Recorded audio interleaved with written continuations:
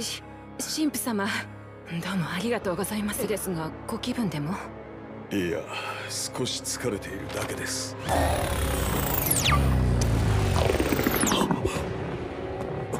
大丈夫ですか？